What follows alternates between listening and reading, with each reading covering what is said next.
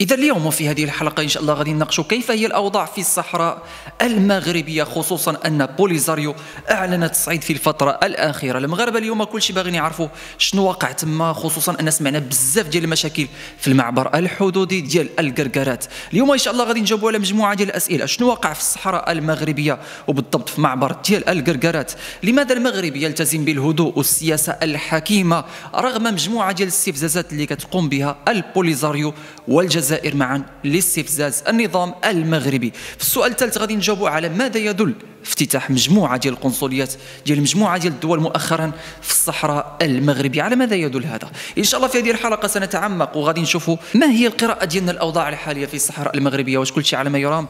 أم غادي تنوض صباط ما بين المغرب والمرتزقة البوليزاريو؟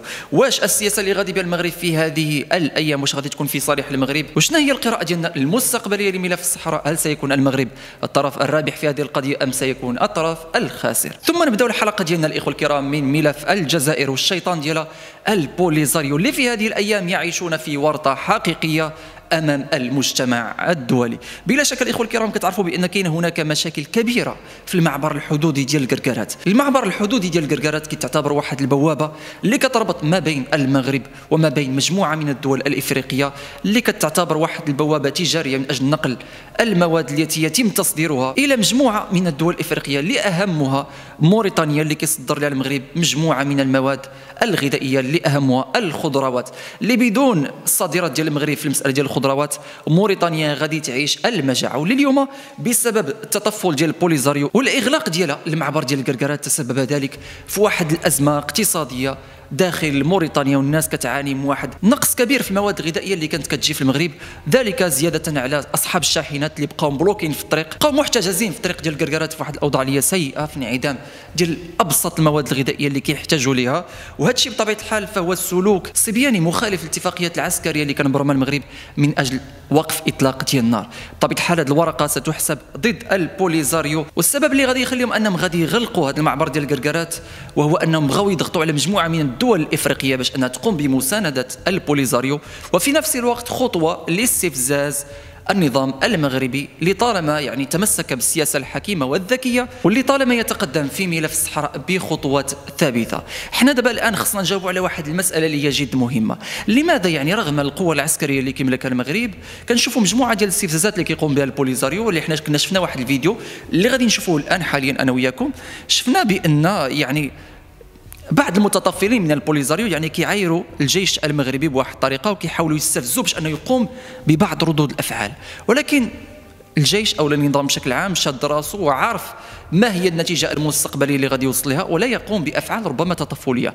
هنا كيخلينا نطرحوا السؤال علاش بالضبط النظام المغربي أو النظام العسكري المغربي غادي بهذه الخطوات الثابتة ولا ما كيمشيش في ديك الطريق ديال التطفل أو لا ديال التهور كما يقوم بذلك البوليزاريو والجزائر؟ خلينا نشوفوا واحد المقطع كيف تعامل البوليزاريو مع الجنود المغاربة؟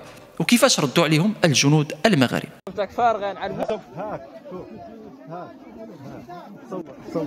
الكلب. دم يديك صور يحرق بيو صور بيو ذاك صور أنا زيد زيد صور تعتبر كره تحزيم غراش. مغيرتها غرش صور صور.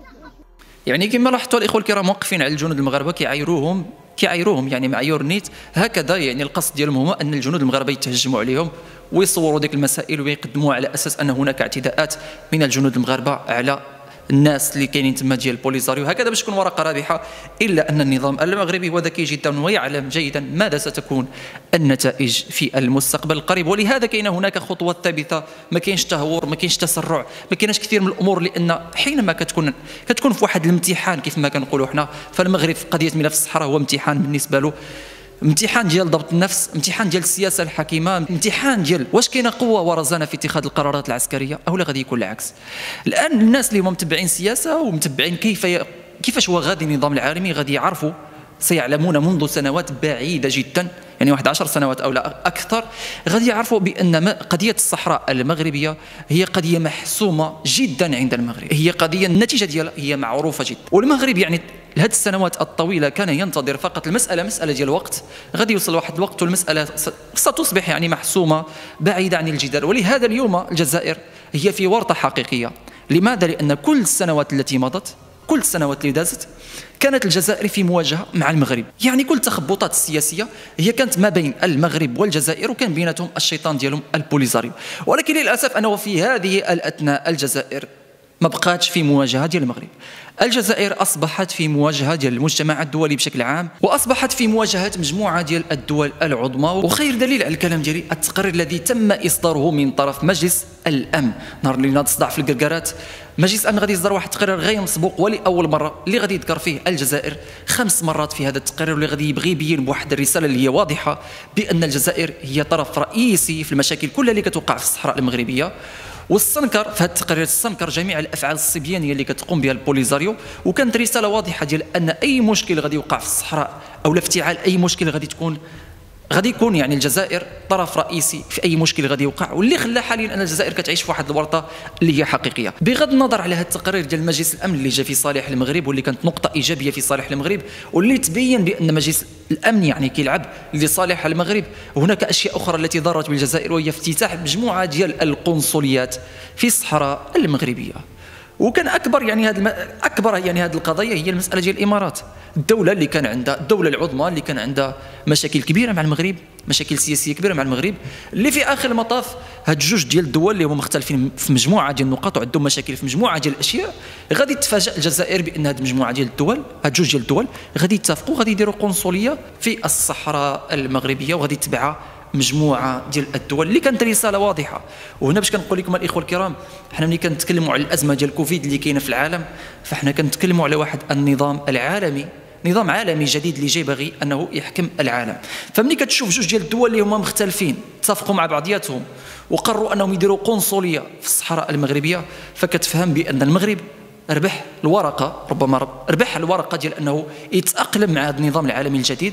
وهذا النظام العالمي الجديد سيساعد المغرب وسيقوم بدعم المغرب سياسيا من أجل إنهاء ملف النزاع حول الصحراء المغربية. فملي كتجي كتشوف المغرب كتلقى معه دولة أمريكا اللي هي دولة عظمى.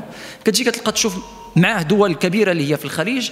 كتجي كتشوف كتلقى مع أعظم دولة سياسية اللي هي في المغرب أيضا إسرائيل. مجموعة ديال الدول اللي أصبحت كتلعب في صالح المغرب. الشيء اللي خلى حاليا أن الجزائر تعيش واحد الارتباك اللي هو حقيقي اللي كيخليها أنك تقوم بمجموعة ديال الأفعال الصبيانية. وعليها كتشوفوا في آخر المطاف كتدفع بالبوليزاريو إلى إغلاق معبر القرقرات كت كتعطي إشارات ربما أنها غادي تنوض تصبط في الصحراء المغربية. هكذا حتى تربك الجيش المغربي وتربك النظام المغربي وتخليه يقوم بتصرفات اللي سيربك الأوراق ديالو والطريق ديالو نحو إنهاء ملف النزاع حول الصحراء المغربية. القضية اللي هي محسوبة وغادة بخطوات ثابتة والنهاية ديالها واضحة لأن الأمر ما بقاش في يد المغرب فقط وإنما أصبح بمساندة ديال المجتمع الدولي وبمساندة ديال الدول اللي هي عظمى.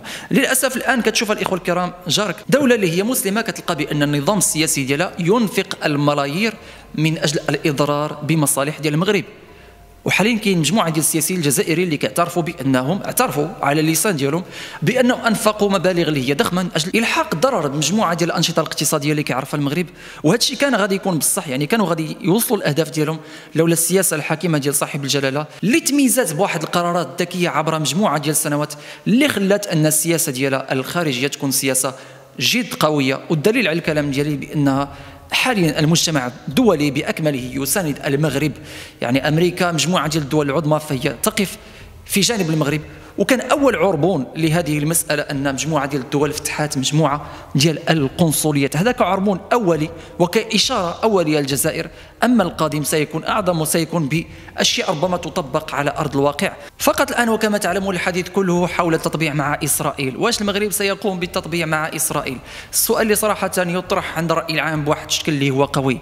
فالإخوة الكرام ملي كنجيو نتكلموا على هذه الأمور فنحن نعلم بأن إسرائيل هي كتعامل مع مجموعة من الدول الإسلامية. ولكن كتعامل بدون إفضاح الأمر يعني كتعامل بواحد الطريقة اللي هي سرية مع مجموعة من الدول عبر العالم واللي هي دول الاسلاميه في آخر المطاف. الآن إسرائيل بغات تمر واحد المرحله أخرى قالت لهم أنتم بلا ما تبقاو معاملين معايا بهذه الطريقة كأنني كنشفركم. غادي تقوموا بالتطبيع العلني ونقوم بالعلاقات ديالكم.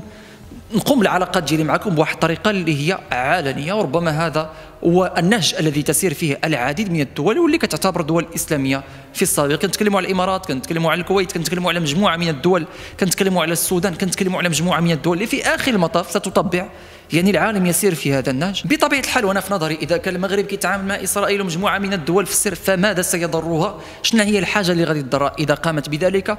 على العلن وإذا كان ذلك غادي يمكنها بانها تغلب على مجموعة من الأعداء ديالها واللي كيحاولوا يضروا بالاقتصاد ديالها وكيحاولوا يضروا بالوحدة الترابية ديالها. إذا كانوا هاد الناس غادي يساندونا وغادي يقدوا بأننا نهي واحد الملف اللي طالما أرق المغاربة واللي خلاو المغاربة. كيقولوا دائما أن مسألة الصحراء المغربية غير قابلة للنقاش وغير قابلة للتفاوض فشنو غادي تضرني؟ واحد العلاقة ديالي مع واحد الدولة اللي كانت سرية وغادي نرجعها علنية وحتى شي حاجة ما غادي تغير وغادي نتمكن من التغلب على الأعداء ديالي.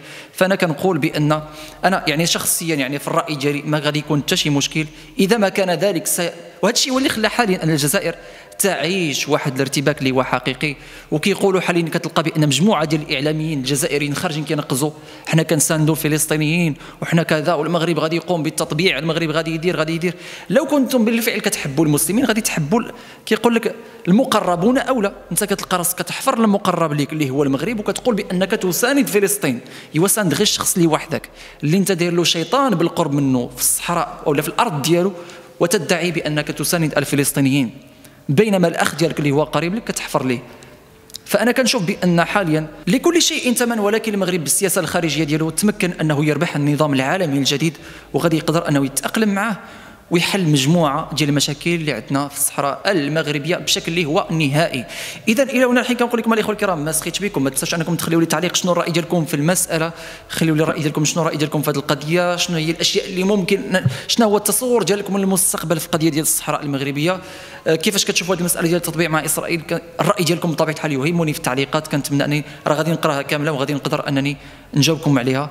إلى هنا الحين كنقول لكم ما سخيتش بكم نتلاقاو في الحلقة المقبلة إن شاء الله.